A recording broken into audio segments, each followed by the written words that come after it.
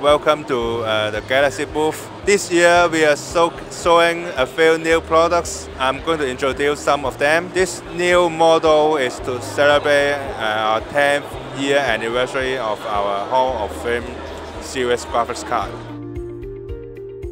And it is uh, Galaxy's first product to feature a hybrid cooling system, which means uh, you can use either air cooling on stock or upgrade it to a water cooling system later on. It has amazing performance and a very stylish uh, white color outlook. And also on display is our uh, prototype second generation external graphics system. It is using a technology called immersion cooling, which means uh, the whole graphics board is put inside a special 3M coolant uh, to make it possible uh, using a passive cooling system for up to uh, GeForce RTX 2070, which is just launched yesterday at the Galaxy Hall of Fame Pro PCIe 4.0 SSD.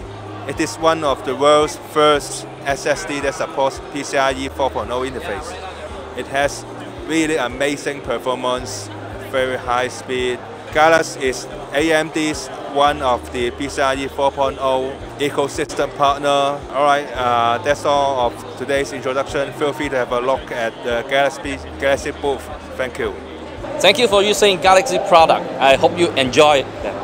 And uh, I'm sure GKR and all the Galaxy team will provide a great support and great service to support the Korean market. Let's keep fighting.